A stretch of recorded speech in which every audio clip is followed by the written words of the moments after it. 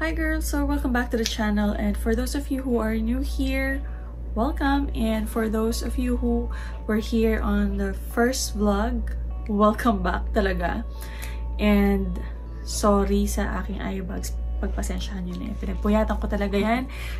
So I created this top 3 favorite um, Christine series book um, questions or Basta top 3 Tuesday ang sinulat ko. So, just for the sake lang na meron tayong pag-usapan for today about the series. This is it.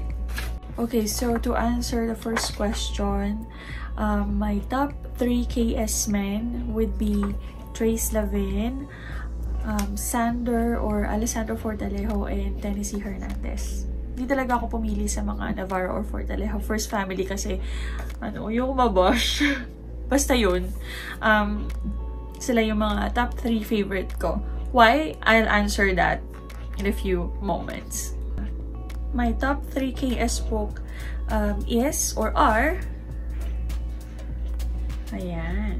So, this is the story of Dana Isabella Fortalejo. Sorry, naka-mirror yung camera ko. But, yeah, um, the title is Hasta la Proxima Vez. So, it has three parts. So, tatlong book ito. And what I love about this story is yung fact na nag-time travel si Dana and she was able to go to the time of Leon or Don Leon in the year 1928. Um, parang ang ang ganda lang parang ang sarap lang isipin na makakapag-time travel ka tapos makikita mo yung lolo mo, 'di ba? So, ayun. Tapos um Teka lang. So, nakita niya si Lola Isabelita dito. Alam nyo, ano, basta top, parang feeling ko magiging top 1 ko to talaga. Like, if someone will ask me, ano favorite mo sa Christine series? Ito talaga lagi yung sinasabi ko, yung Hasta la Proxima Vez. So, basta yung may time travel, yun ang sinasabi ko palagi. Tapos, um, can I just add na si Lenny na lang dun sa top 3 ko? Top 4 na pala, na parang gwapo sa, or bet na bet ko sa Christine series men or sa KS men. So, um, the way Martha Cecilia um, describes si Lenny dito, parang wow, grabe, parang gwapo naman niya, parang ganun, gwapo naman ni Sir. So, there. Um, so, si Dana pala is the daughter of Diana and Joshua. So, if you can remember, Diana, um, na involved siya kay Bernard napakasalan ba siya ni Bernard? So, remind me. Parang medyo nakalimutan ko na kasi. So, ayan. Kailangan kong basahin ulit itong mga to. So, there. Um, I'm going to do another vlog for that because medyo feeling ko kasi marami akong ma-share sa inyo about Bernard. um, love me or hate me, but I really love Bernard. Sorry ah. Um, alam ko marami siya nagawa or something. Pero, ewan ko, alam ko masama. Masama ba talaga siya? Kasi parang feeling ko, ewan ko, ayoko na magsalita, mababash na naman ako nito eh. So, yun, hindi ko na patatagal. So, ito yung isa sa mga favorite ko. Um, next one is uh, this story. Uh, the title is Trace Levin. This is the story of um, Jessica Fortalejo. So, it has two parts. So, may book 1 and book 2 siya. And look, ang ganda lang talaga ng cover or ang model ng cover nitong book na to. So, uh, the story is about Condor or yun yung codename ni Trace na ayun nga, nag-propose nga si Jessica sa kanya sa bar. Nakita siya sa bar. Kasi in desperate need si Jessica that time kasi kailangan niya talaga magpakasal. If not, parang na-pressure siya ng tatay niya, si Bernard, na yan. Marami talagang trip tong si Bernard. So anyway, What I love about this is si Trace. Trace lang alone talaga. Sorry. Eh, na-inlove talaga ako dito nun eh. Parang, ang ano lang, ang basta iba yung, ang perfect niya dito sa story. Ewan ko ba? What about you, girls? So, ayun, um, but in real life, if that's gonna happen to me, like, kung ari ako, parang I cannot. Hindi ko talaga, hindi ako magpa-propose sa isang stranger sa, ano, not unless I know the guy. Pero, well, this is like a story lang naman. So, ito, ito yung isa sa mga favorite ko. Na sobrang na-hook din ako noon nung binabasa ko. And, uh, sa lahat ng Fortalejo siblings sa mga anak ni Bernard, parang si Jessica yung medyo nakikitaan ko na malakas yung loob. Actually, para siyang si Naomi Navarro. Like, meron silang similarity na, ano, palaban. Next one is the story of Alessandro Leon. Uh, I mean, he is the husband of Yelena Fortalejo, the son of Jenny and Zandro Fortalejo, at kuya ni Cameron Fortalejo. So, he's like the long-lost heir of um, the Fortalejos. And what I love about him is siya lang yata yung Fortalejo na walang kapintasan or walang masyadong ginawang nakakataas ng kilay. For me, ah, personally, like, that's my opinion um, from reading the story. I mean, he just came from a simple lifestyle na nakidnap yata siya. Tama ba? Basta yun, um, he was just searching for his family. Tapos yun, nakilala niya ulit yung pamilya niya. And then nakilala niya si Elena na ayun, na mahilig mag-billiards. Sinugal yung pang project nila. And then, um, he fell in love with her. Ayun. So, parang yung, yung, yung flow ng story is something na nahook ako kasi merong ups and downs and then may ending siya na nasatisfy naman ako pero parang feeling ko nabitin ako because yun nga, um, dito kasi na-introduce yung bodyguard. So, I was like, um, waiting for more na mga ano nila, eksena. So, dito na-mention sila Tennessee, sila Jack, si Daniel, tsaka Sino pa bang na-miss ko? Basta yun, um, it's just sad that um, Marta Cecilia is no longer here with us. So, feeling ko kasi meron pa talaga siyang ano, inihandang mga story about the um, the bodyguards. So, ayun. So, this is included in my favorite. So, I know I already mentioned three. So, magbibigay na lang din ako ng medyo additional. So, anyway, ako naman ang gumawa ng vlog nito. So, my rules. Uh, I'm going to add Tennessee.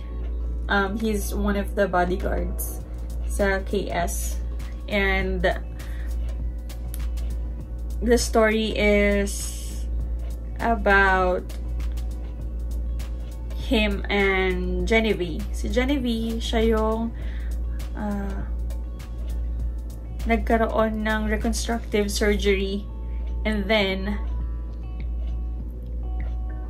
yung face niya is siya yung si Jillian Nuevo. Siya yung mayaman na uh, nawawala siya for a long time And ex-husband niya si Tennessee Hernandez. So, parang napunta yung mukha ni Jillian kay Genevieve. And then, may dalawa silang anak. So, it's like, paggising niya, meron na siyang asawa, may ex-husband siya, tapos meron siyang mga anak. So, ayun, uh, siguro ito yung masasabi ko na favorite ko na bodyguard story. And, Ayan, nakuha ko. Nakita ko na naman, lagi na lang si Kurt ang nakikita ko pag binubuksan ko yung pages. So, lagi talaga siyang may eksena. If magiging movie ang Christine series, pinakamalaking bayad dito, si Kurt. Kasi parang siya lahat yung middleman ng lahat eh, no? So, yun. Ah... Uh, Nag-enjoy ako sa pagbabasa nito kasi bukod sa makapal siya, hindi ako agad nabitin. So, gusto ko talaga yung mga um, makakapal or more than 200 or 150 pages na ano. Kasi normally, ang isang book niya or ayan, 128 lang yung pages niya. So, this one, umabot siya ng 256. So, hindi talaga ako nabitin. And, um, it's one of my reread books kapag ka gusto ko ulit bisitahin yung ano, Christine series. I know, wala akong masyadong nasabi kasi parang na-blanco ako. Ang hirap kasi talaga mag... Ang hirap mag-vlog talaga na ganito. Meron akong kaharap na camera and then sinishare ko. Pero pagka wala naman akong um, intention na i-share, ang dami kong masabi. Okay, ito so medyo controversial. Top 3 S scene. So, ito yung mga sexy scene. How do you define a sexy scene nga ba sa isang libro or sa isang story? For me, um, elements pala. Ano ba yung main element na isang sexy um, scenario or sexy scene sa isang story. So, I'll just share kung ano na lang yung baon kong knowledge about this question sa from the Christine series, no? So, first of all, yung ano, yung trapal. So, if you guys remember, uh, if I'm not mistaken, ito yung island Island in the Sun, yung kwento ni Meredith Multifalco. So, yun. Iba talaga, di ba? Umuulan, tapos yung may trapal moment. Parang, in-imagine ko talaga, pa, paano kaya nangyari yung ganun, no? So, every time na nakakakita ako ng trapal, naaalala ko talaga siya. Like, basta, ayokong magkaroon ng kulay green yung isip ko. Pero talaga yun na naalala ko. So, ayun talaga. Sobrang uh, unforgettable siya sa akin.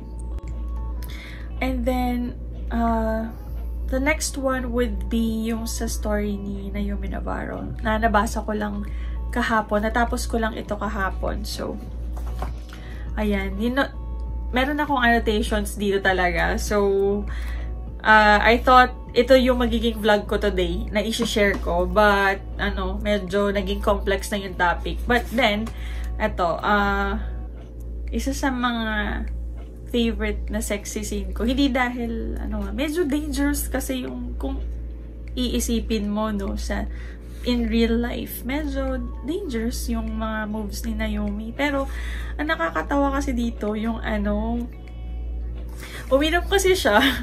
So, iba talaga ang nagagawa ng alak talaga, no?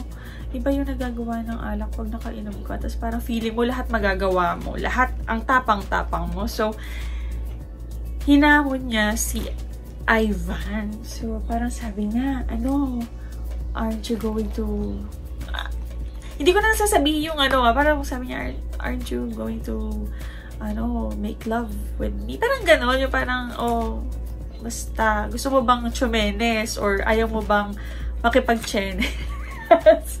so, yun, parang talagang, inano niya talaga yung sarili niya. Diyos ko, parang, binalandra niya yung sarili niya kay Ivan. Well, naiintindihan ko naman kasi parang sininta niya talaga to. Sininta niya yung si Ivan kasi nga parang siya yung knight in shining armor niya na meron naman talagang history sa buhay niya itong si Ivan. So, ayun.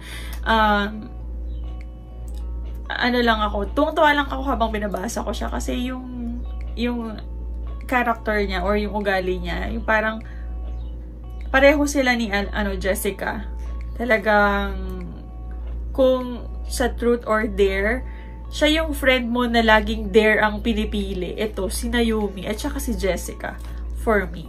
Hanap ko pa talaga yung page kung saan interesting yung eksena and talagang fit dun sa question na well, not my favorite pero unforgettable um, sexy scenes na lang dito sa Christine series. So, I'm talking about Kapeng Barako at Crema. So, dalawang book siya.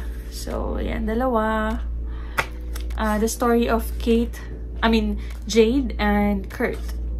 Kurt Lapierre. So, si Kurt is French because he's always, ano, uttering French words dito. So, feeling ko sexy-sexy naman, no, no. So, the eksena is, what happened was, ano, um, Kurt took Jade ano, in anger kasi nga, parang I don't know, but, but, but galit si Kurt. so, ang ginawa niya, since wala pa talagang karanasan si Jade, ano, uh, when they had sex, ayun na nangyari, nahimatay si Jade because hindi naging gentle si Kurt. And also, he is, ano, hindi naman siya kind of, ano talaga siya, yun, yung medyo ano, pwede ko ba sabihin, oh, by the way, girls, I'm married, okay? So, I have the right to share this, I think, para disclaimer ko na lang. Ito, so my friends will ask me na, is that possible? Like, can someone um, lose consciousness if, you know, ganun talaga siya kaano? For me, I think, probably, or baka hindi rin. Mm, sa case ni Jade kasi, based dito sa story, ang sabi dito is Kurt pushed very hard. Well, some of my friends will ask me, no, is it possible na mag-faint ka kapag ginagawa mo yung bagay na yun? Oh, by the way, I'm married, so I can probably share some some of my opinions here, no? Uh, depende siguro kasi sa situation or sa sa uh, sa case ni Jade is ano siya eh, forced talaga yung ano niya, yung ginawa ni Kurt sa kanya. Finorce niya yung sarili niya kay, kay, kay Jade. Tapos, plus, may kalakihan talaga.